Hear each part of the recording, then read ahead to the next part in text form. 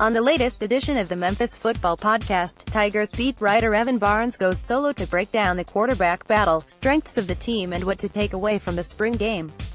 More, Memphis football, Jackson Dillon, Sam Craft give updates on injury recovery more, Memphis Tigers football, QB competitions still unsettled as spring practice ends autoplay show thumbnails show caption, last slide next slide.